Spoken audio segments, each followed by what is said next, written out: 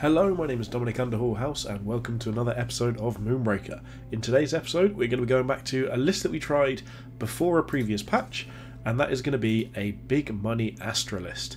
So, what we've got is we've decided to build a list with all of the most expensive units in the game. So there's no 1 drops, 2 drops, 3 drops, or 4 drops. Every single thing in our list is 5 plus Cinder. So, looking at this, we're starting with our 6 drops, so we've got Switchback, so obviously a really nice finisher and an Astralist. We've got Micoani Thicket.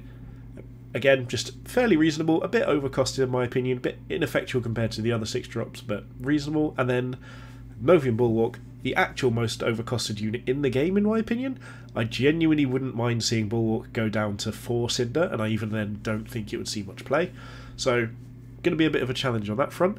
And then otherwise, we've also got the Aegys Defense Dome as well.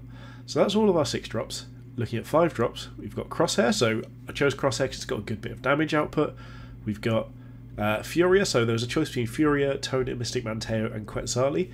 So we're not the most mobile list as it is. So given that we've already got two units that can't move at all, Quetzali didn't really feel appropriate, so I went for Furia instead. Uh, we've got our Aegys Sentinel, who again I think is a better version of the turret compared to the Bulwark, and Florio Lancer for a good use of that Cinder. So in the early game, our only purpose is going to be to play Cinder Orbs and try and survive. That's absolutely all we can do. Uh, in terms of assists, we want anything that keeps us alive as long as possible. So this list isn't going to go well versus uh, competitive lists, but hopefully we should be able to have a lot of fun with it and see if we can just throw some games, uh, you know, throw into some games with some of the most expensive units there are, and if we can last that long, we might just have quite a lot of fun doing so. So we've picked up a game quite quickly and let's see what kind of opponent we've got today. So we've got a Zax, that is a good start. Um, okay, so here, what do we want? Stowaway is almost utterly useless here, so that's always good to know. Cinder Infusion might help eventually with Corrosive and then Stasis and Stimburst. I think Stasis and Stimburst is what we're going to need here. Of course, as usual, we are against Jester, so I think I can hands down say that this is going to be one of the uh, the worst matchups we could possibly imagine. What we need to do is find somewhere this can be safe for a couple of turns. So I think actually maybe it's just over here. Because we don't want to use this until we've got five Cinder available. So what we could do potentially is actually bank it next turn and then hide some more Cinder for the following turn. That could also work. But uh, given that Jester plays very aggressive lists, I think it's highly unlikely that we're going to do too well here. So, what I think I'm going to do is exactly what I just mentioned. So I think I'm going to move here, take a pot shot of this, and then just, rather than risk that for a couple of just place this down and try and save it for an extra turn. Because then next turn we can play something big. So as it stands, we've already got 6 cinder. This just helps us bank some more. Maximus is going to hit us like a truck, but we have to decide what we want to place down early. If this is Disruptor, it doesn't really matter. Oh, we waste the Cinder, but we were storing it anyway. Yeah, so that doesn't really matter to us. They're going to get the hits in. Honestly, depending on what they play next, if it if Jester goes for sort of Rickety, which is their normal play, it could even be worth going for Defense Dome this turn. I get glad that missed. Second Wind, and if this is Rickety Backfire, we probably just have to run away and go for a Defense Dome play. It could just be Deadeye and something else. Interesting. We'll see how this goes, because we're probably stim bursting and just running away here and making them spend Cinder and Quetzali. Okay, so it's Antios this time. Antios and Deadeye. Interesting. Okay, so we, we probably do need something that affects the board here. So, most likely we're going to actually go for a switchback, because switchback can potentially one-shot any of these. So let's just take our shot. Let's stim burst ourselves as far away as possible. Um, yeah, I think I'm going to actually play Crosshair out. And, okay, so where can Deadeye move? Okay, so it's going to be hard for them to get something deployed here. So let's just grow our Cinder about here. And we'll crosshair we'll crosshair back here as well, keep it nice and safe. So I don't think there's much way they can get onto this unless they've got Vortex as well as Disruptor. But this should be interesting. Especially having stun next turn, we can actually start you know, trying to chip out some damage here, as in you know, stall their units, slow the game down, and get our big units up. We That hitting is slightly annoying, but it is what it is. So what we're going to be hoping to do here is, okay, depending on what they play, obviously, but we're going to looking to stun something that's going to be putting pressure on us, and probably even just play the defense dome here. So it could even be that we go for stunning Antios Gauntlet, using crosshair to shoot whatever else gets deployed if it's in range. Okay, this is Rickety, so we've got no chance of dealing with Rickety here. Yeah, so that's Rickety, so that's probably what we're going to have to stun. So that means what can we play next for 6 Cinder that's really going to have an effect on this game state?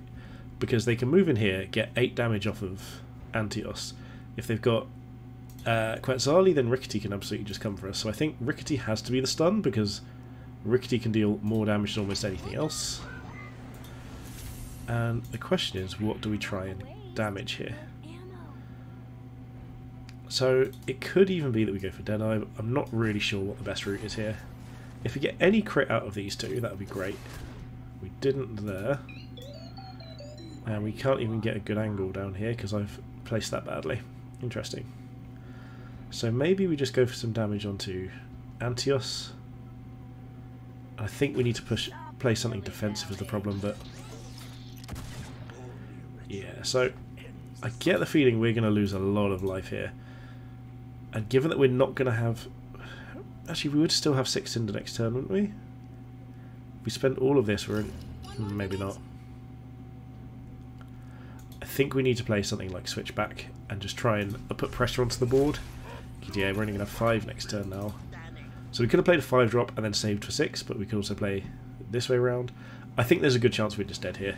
Yeah, Disruptor's going to uh, do a great job of that. Again, Jester is not the opponent we want to come against running these sort of lists.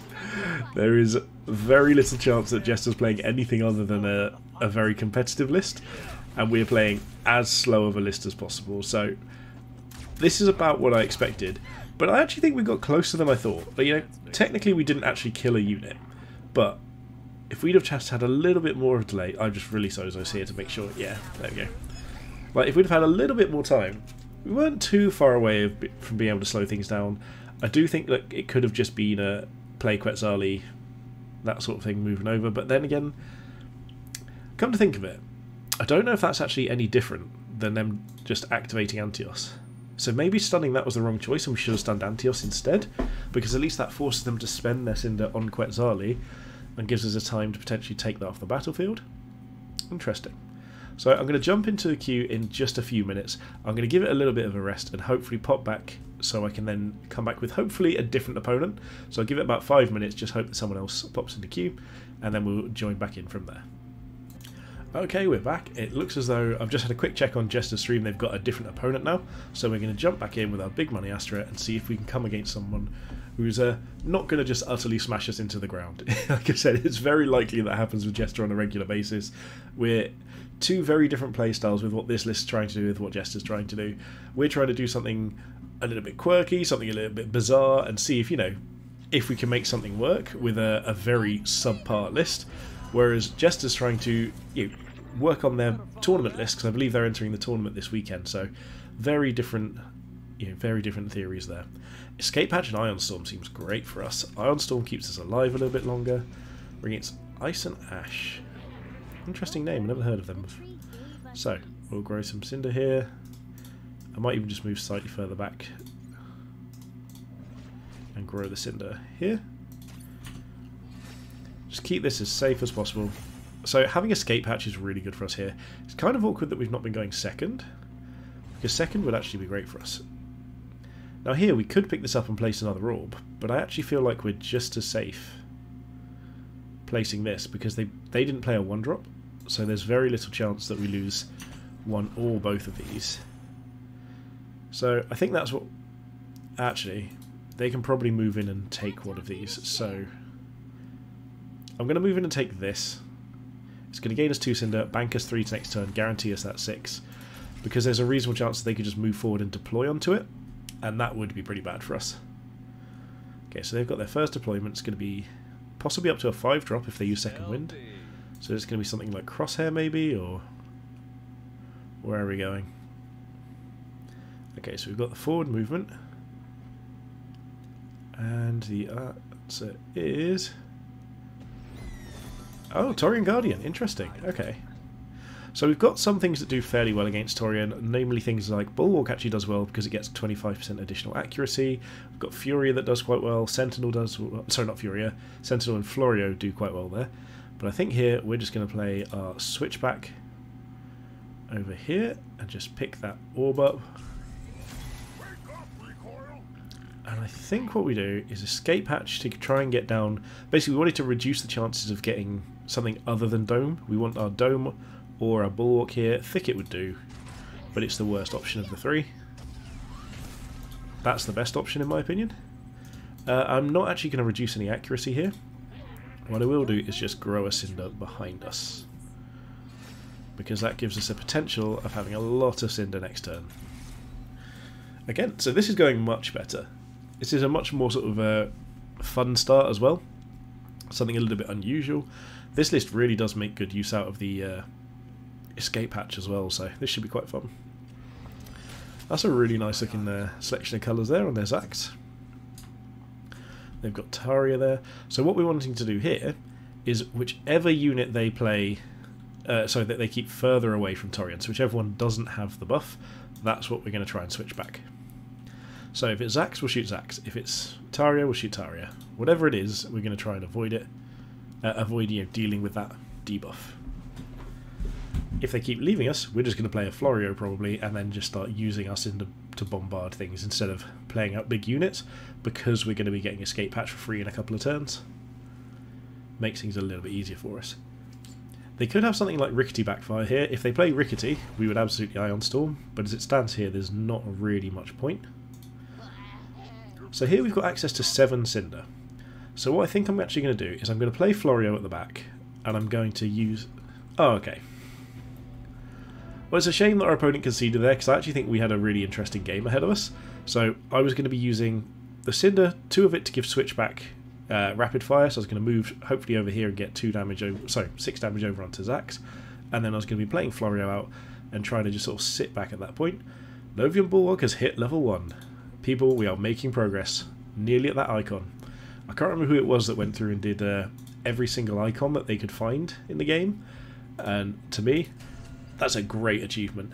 But I also would really love to get a unit to level 10 to start up unlocking those banner crests because there's some really nice banner crests out there. So we'll count that one as a win. I actually do think we were probably in a really good position. I think our opponent's start was too slow to sort of reliably finish us off from where we were. I don't think it was a, a, foregone conclusion. There's definitely things that could have happened that you know left with us losing that game. But considering that we had what was it, two, three, six drops was it?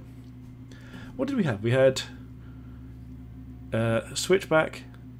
The oh yeah, we had switchback the um, defense dome, and then I think we were just at Astra on top of that but then we'd have been able to follow that up with Florio. So yeah, I think we were in a really, really good spot there. I don't think there was much they could have done to sort of come back, but it definitely wasn't a foregone conclusion.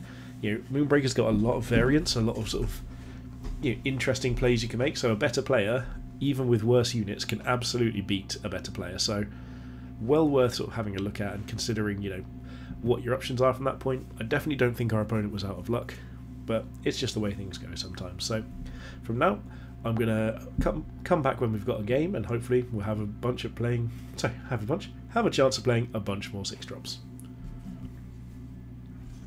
Okay, we're back in the game. We'll see what our uh, what our fates have sent us today.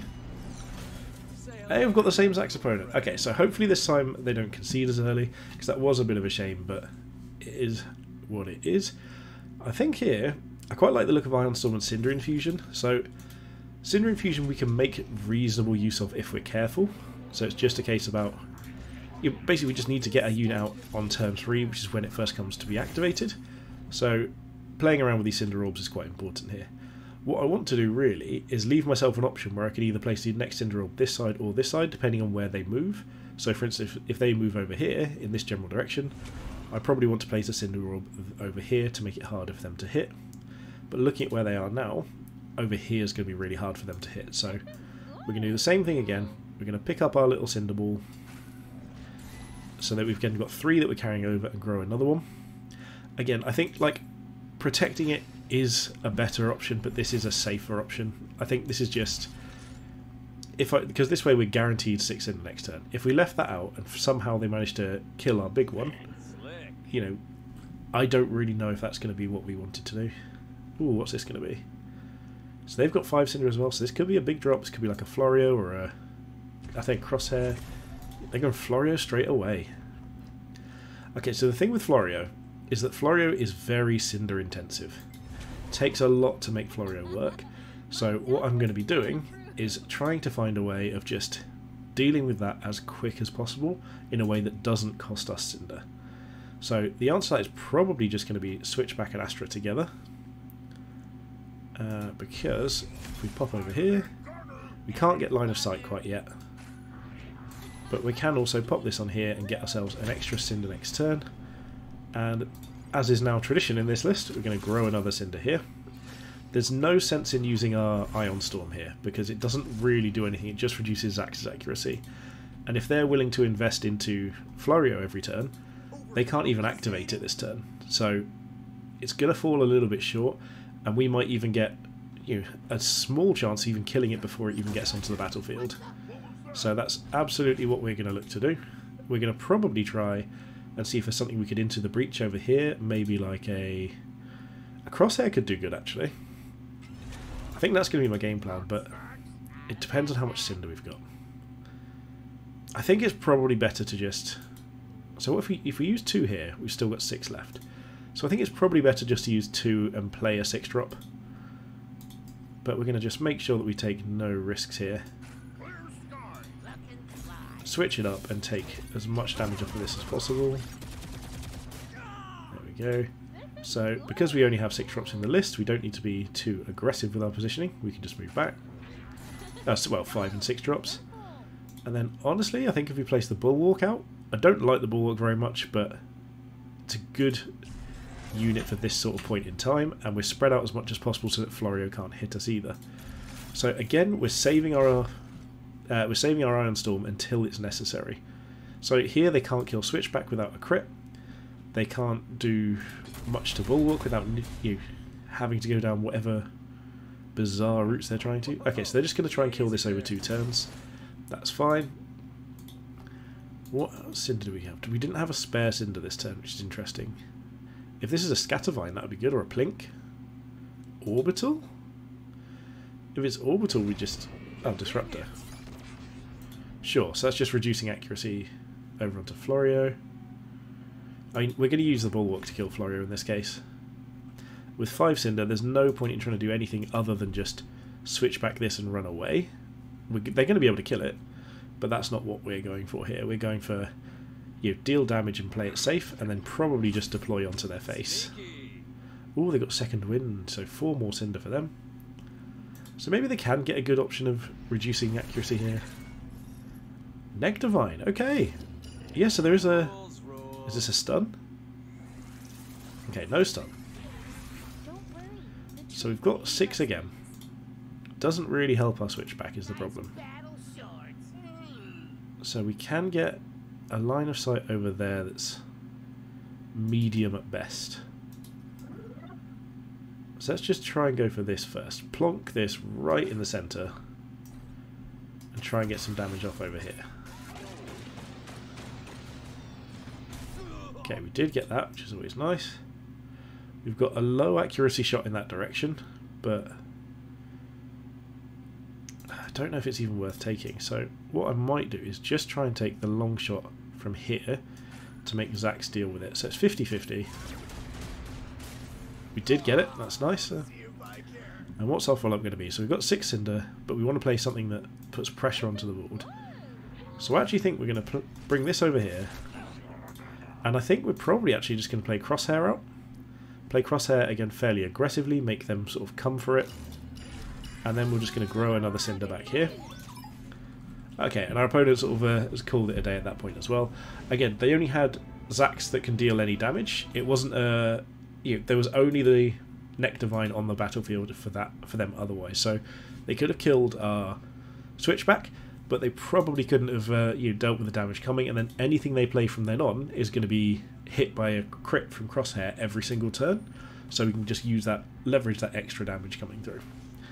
Excellent. So because we've had a, a couple of hiccups in this and a couple of sort of short finishes, I'm going to jump in for one more game and see what we can uh, you pop out in here. Again, this is a really slow list, so Astra is the only viable option. We've actually been able to play a big unit on turn 3 every turn while still banking Cinder for future turns, and I think that's actually worked really nicely. I should probably sit and do the maths about whether to leave my Cinder or play another one, but to me, having one Cinder or with three Cinder is just scary. Okay, this is probably going to be Jester this time, and we're just going to uh, cry to ourselves, and I think this is a a reasonable way of finishing things off, just the way things should be, us losing to an aggressive list. So I'm going to take Vortex and Orbital. The reason for it is I think it actually gives us... Yeah, it is Jester. So Vortex can pull things away from us, which is what we're probably going to have to do. And Orbital is going to be able to just zone things off slightly. So here we're just going to grow a Cinder back here. Play it safe. The reason being is that if they move this way, we're going to do the same thing, grow the next Cinder this way. Uh, basically, I'm still thinking of alternating Cinder. We could also just move back and do it, but Again, them being able to deploy onto the Cinder is pretty terrifying. So this turn what we're going to do is we are going to Vortex anything backwards that we can. So this is probably Maximus. I'd be surprised if not, to be honest. And it is... I don't think the placement here matters as much as Jester probably thinks it does, because we're not playing any unit that can actually land on the battlefield this next turn. Literally none. Yeah, so there's their Maximus. Okay, so what's their deployment radius going to be? That's the thing. That's another thing I wish I could see is just their how easy it is to deploy from there. So Maximus can absolutely get line of sight onto this. So we're going to want to be taking that, growing another cinder somewhere fairly safe. So like here seems good to me. And then honestly, I think I'm actually going to try and just vortex back in this direction a little bit. Make it harder for them to bring towards us. So it doesn't move Zax much, which is a shame, but I don't think Zax can move far enough to deploy onto this. Maybe they can. I mean, I haven't quite got the uh, the judgment here to figure that out, but this is what the plan was, to make Maximus's line of sight as hard as possible. I can't believe it, they did get the one hit there. Okay, so they can deploy onto it. So that's going to take our six. Oh no, they can't, they're just short. Okay, we're a genius. So the next plan is, depending on what they play, we might be able to just stick an orbital in one direction or the other over here or over here, and just play it super safe from there. What they could also do with Force Cinder is actually, and this is something I would genuinely consider doing in this matchup, is they could gravity disc themselves forwards, deploy onto the Cinder, take it, and then follow up. And it seems really inefficient, especially given that they're going to be trying to kill us, but I actually think it could work. Like, they're only really spending one cinder to deny us two cinder. So at that point, I think that's reasonable. I think Jester might even see the line, but maybe not because they're quite an aggressive player. They like to sort of, you know, take games down as quickly as possible. But what I'd quite like to do in these situations is think, what could I do other than this that could potentially have a, a different effect in future games? Okay, so Antios, so that's going to be Talali coming down here. Yep, absolutely. So what we need to do here is figure out a way to protect ourselves while also putting damage onto our opponents probably next turn. So we can't avoid much, so we're just going to have to move backwards in this direction. Is there a way we can... No, not really. So we can move backwards to here. Uh, it doesn't matter too much about that because we need to just place something big down. Um, probably has to be you know what could be good here? It's a weird situation, but I actually think we could be in an Aegys Sentinel situation here. Because if we just place this here, we've got a big cone of where we can get to. We can grow another Cinder Orb just back here for next turn. They can obviously like come come and get this, but that's absolutely something that we're willing to go through. I think what we're going to do is move to about... Okay, how far is Tali's activation? So I think if we place this about here, this is probably hardest for them. So they're going to have to move Antios somewhere around here, but this makes it hard for them to play Talali without getting Talali in a position that we can actually hit with their orbital. So yeah, so they're, they're just going to take it. This is fine. This is not really how we want the game to go. They're going to go for our Cinder Orb, which is fine. Again, so I've said this in previous videos. In games like this, I am more happy that they're taking our Cinder Orb than I am that they're shooting our Captain. So if that's what they do, that is absolutely fine. Yeah, this should all really be going for our Captain. There doesn't make sense to do it any other way. We do have Vortex next turn, so it can just pull things slightly further away or slightly into Flechette range if we need to. So this is going to be a uh, just a hit for four here, yeah. Interesting, so we can't actually move onto that. We don't have a small enough base. We can deploy crosshair onto it though, so it's not too bad. And we are going to have to do almost exactly that. I mean, we're pretty much dead here. Okay, that miss is nice. They're taking three onto their captain, but that doesn't really matter. So, we can place crosshair down here. Can activate this for three. Honestly, being able to jump over walls is not going to be enough here, I don't think, but we can try. Hmm. I'm not sure. This is actually a more interesting spot than I thought it would be, to be honest. Yeah, that's fine. We'll deal three there. So we could potentially also just like drag these together, which would work, which doesn't cost any cinder, which then gives us eight. And eight would allow us to haste out something. But nothing is quite what we want. I guess hasting crosshair might even just be our best option here. So let's move over here. I'm actually going to pull these back together. So this might not be a good position for us eventually, but I think we should be able to hop back over the wall if it comes to it. Okay, so we're going to into the breach, crosshair. In fact, no, we don't want crosshair. No, we do because we can only afford to play crosshair. That's what. Yeah, we weren't, uh, didn't have as much cinder as I thought. So we'll shoot here. We'll take this shot here. We've refreshed that movement, so the question is what do we do from here? And honestly, I think we just leapfrog away in this direction for now. Maybe even just place crosshair here to reduce a bit of accuracy. And see what happens. So, this isn't good. I'm not feeling great about this. We have obviously placed ourselves in range of some things, but we moved out of range of Antios. Kind of running a circle around them, but not in a an impactful enough way. But I actually really enjoy games like this because it means that, yeah, we have to figure out how to play differently. Okay, this is a good gravity disc here. Oh, maybe this little lip's keeping us safe. I don't think it will, but maybe.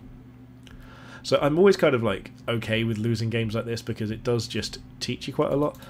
There's not much that we can do about this. We're always going to lose to any of Jester's lists with a list like this because not only is Jester a good player, if you don't know already, Jester streams most days, and as like I say, you see level 100 here. That's far more than we've got to offer. Yep, so that's put us down to is it three now? Yeah, down to three.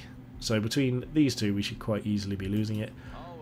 Uh, I would probably be releasing Ozus onto Zax. Yeah, there we go for the 90%. Perfect. So that was a good finish by uh, by Jester there. I think we were close. Maybe using a Sentinel could have just been something else. But again, we needed another 5 drops. It could have been a Furia, I guess. Furia might have been more useful. And that's something I'll consider for next time. All in all, we didn't function too badly. So the only list we lost to was genuinely one of the best lists in the entire game. We managed to play big things fairly consistently. We protected our Cinder Orbs well. We didn't really get many stolen. And all in all, I had a lot of fun. So if you guys want to let me know if you have any success with a list like this. It's as expensive as it as it can get. Feel free to change the units around. You know, like so. What did we use today? That was uh, we'd say was MVP. In fact, you know who we haven't used much of recently. Let's put them back on the uh, in the old top spot. We could go recoil and DB. So these are the two guys from Switchback. So we'll pop our Switchback Mastery one on. These are the two thugs from the Extilio story, which I can't believe I didn't know that, but that's awesome. Either way, hopefully you guys enjoyed this. Make sure you hit that subscribe button. One of the things to look forward to is as soon as we get the new patch notes, the first time I'm able to record a video and get it uploaded, I absolutely will do. And hopefully, we'll, if it comes before the weekend, we'll be able to get a stream up for quite a bit of time over the weekend and have a bit of fun doing that as well. So thank you very much for watching. Make sure you like and comment the video, and most importantly, have a good day thank you